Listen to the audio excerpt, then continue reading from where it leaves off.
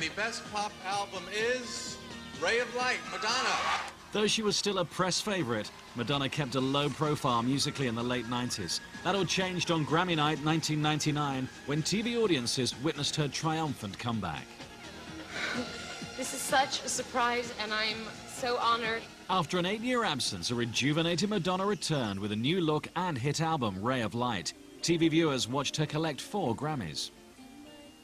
First and foremost, I must thank William Orbit.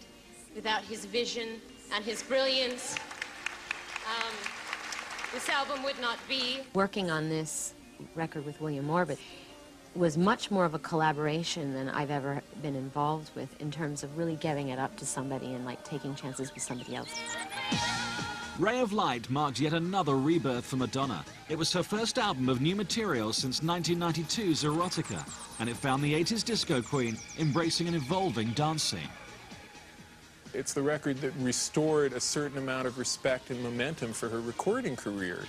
The change in musical style mirrored the changes in Madonna's personal life. The material girl was now material mum.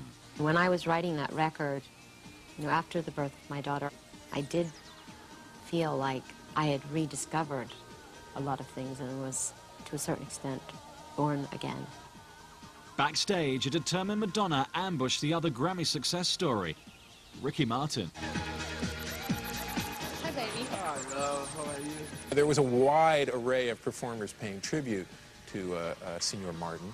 Uh, Madonna did it with her lips. With a kiss, Madonna turned the press conference into a celebrity love fest. I'm just here to congratulate him. Isn't that amazing? Congratulations, you too.